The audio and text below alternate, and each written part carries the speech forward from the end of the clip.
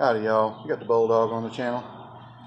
Uh, some people have called me dense, and yeah, I guess that's that's true. I'm I'm a little, you know, you know, thick in the body, so I'm pretty dense.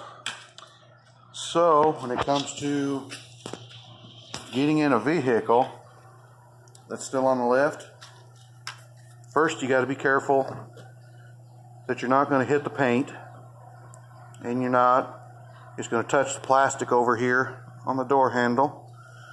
So how do you pop the hood when you're got the thing here? Well, what I use is this here broomstick with a 90 degree on the end of it. I've also got a claw that I can really hook stuff with. But here, let me show you if you can see in there.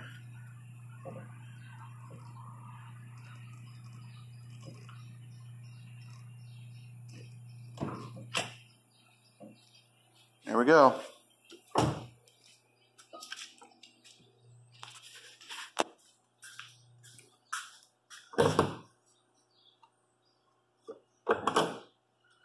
And that is how I put the hood when it's up on the lift. Now we're going to check fluids in this thing, make sure it's ready for their trip. But I just wanted to show you guys real quick. I, what I do is I make stuff for that.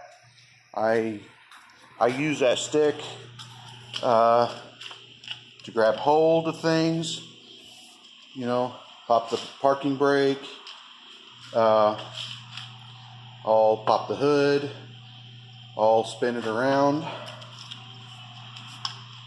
push on the brake, you know, pump the brakes up uh, when I need to if I'm by myself trying to check something. And if I'm really lucky, I'm working on the left rear, so I don't need any help at all. You know, I can reach in there, push on the brake, bleed it out, do everything that I need to do without having to stop and ask for help. Because it always seems to happen whenever you have a limited number of people in the shop, which we've, it's just been me and the owner here for a long time. We've tried other people. It's never seemed to work out very well. I don't know if anybody ever made us money. Uh, we hire somebody on and they might do good for a while and then it would just end up where it would cost us more than it would make us. So it's just uh, that's how it is sometimes.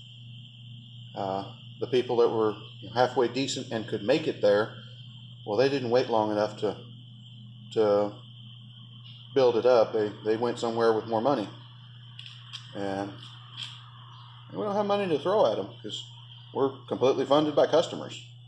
Customers don't have all that money, so that's why we don't, you know, end up paying very much.